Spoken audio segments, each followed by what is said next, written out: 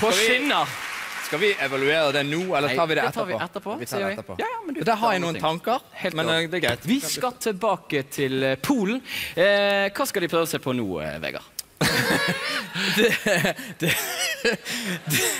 Vent det. ok, kjør da. Kom igjen, det er et helt profesjonelt TV-program. Ja, ja, ja. Eh, Det eh, de skal prøve denne gangen, er vel meg å kalle sitt glansnummer, nemlig to menn i én dress. Ja, og det er jo kjempeimponerende.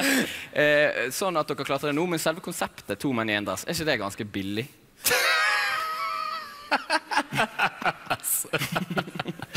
Du Bård, du Bård, du onkel Bård.